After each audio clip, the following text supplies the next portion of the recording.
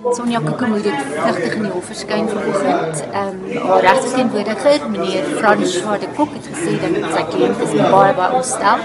Sy kan nie vandag bly nie, so sy het baie vlugtig verskyn en die saak is uitgestel tot 11de Augustus wanneer sy moontlik sal bly.